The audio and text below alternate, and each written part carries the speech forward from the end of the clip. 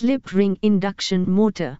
A slip ring induction motor, also known as a wound rotor induction motor, is a type of three-phase asynchronous motor used in various industrial applications. Unlike the more common squirrel cage induction motor, which has a rotor with short-circuited bars, the slip ring motor has a rotor with external connections to allow for more control over its performance.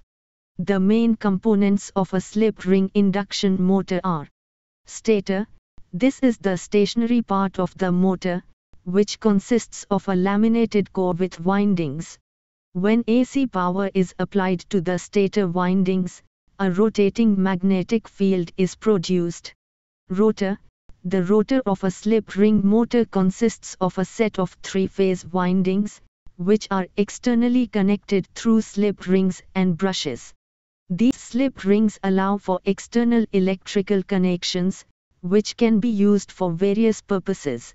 Slip rings and brushes. Slip rings are cylindrical rings mounted on the rotor shaft, and brushes make electrical contact with these rings. The external connections to the rotor windings are made through these slip rings and brushes.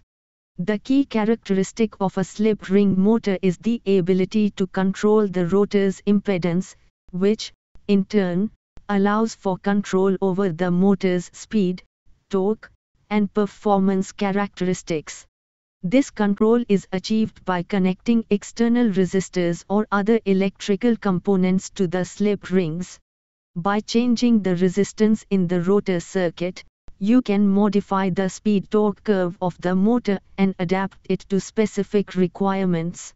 Slip ring induction motors are often used in applications where high starting torque, smooth acceleration, or adjustable speed is required, such as in large pumps, conveyors, crushers, mills, and other heavy industrial machinery.